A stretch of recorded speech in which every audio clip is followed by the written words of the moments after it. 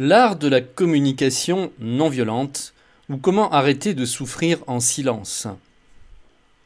Savez-vous vous écouter Ou prenez-vous la fuite lorsque vos besoins commencent à pointer le bout de leur nez? Prenez un moment pour y réfléchir et si la réponse à la première question est non, il y a de fortes chances pour que votre communication avec les autres soit brouillée. Dans notre culture, le fait de s'écouter n'est pas vu d'un très bon œil, car il est interprété à tort comme de l'égocentrisme ou du nombrilisme. Comment? Tu t'écoutes? Mais si tout le monde faisait comme toi, on ne s'en sortirait pas. Oublie-toi un peu et occupe-toi d'abord de ton prochain. Ainsi, s'oublier au profit des autres est devenu une activité pieuse. Oui, seulement, l'enfer est pavé de bonnes intentions. Procéder ainsi c'est s'assurer une souffrance continuelle, c'est s'éloigner du bonheur et c'est être dans l'incapacité de comprendre les autres et de communiquer véritablement avec eux.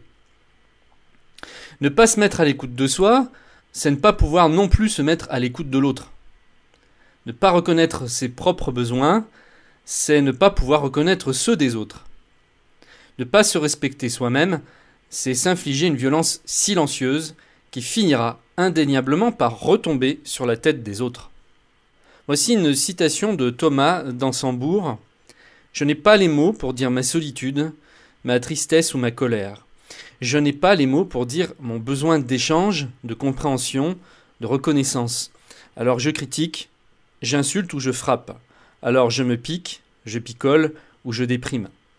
Nos échanges seraient tellement facilités si nous reconnaissions nos vrais besoins et si nous les exprimions clairement et simplement. Car il existe une façon de communiquer qui permet de se respecter sans pour autant se couper des autres. C'est tout simplement en disant ce que nous ressentons. Lorsque nous nous dévoilons, nous clarifions les choses. Nous devenons responsables et nous sortons du triangle dramatique bourreau, victime, sauveur.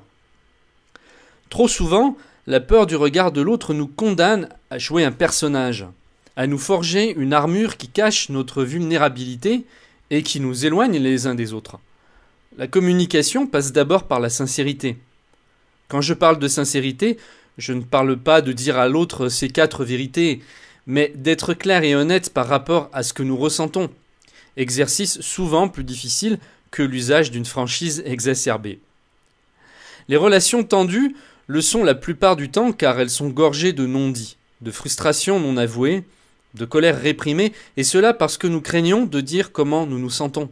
Après tout, ne nous a-t-on pas dit depuis toujours que nous devions apparaître aux yeux du monde comme quelqu'un d'aimable, quitte à s'asseoir sur nos émotions les moins nobles? Écoutez-vous d'abord avant d'écouter les autres.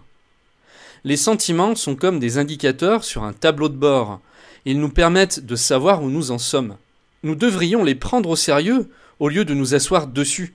Lorsqu'ils s'allument en rouge, vous pouvez être sûr que quelque chose est prêt à casser et qu'il est temps d'agir.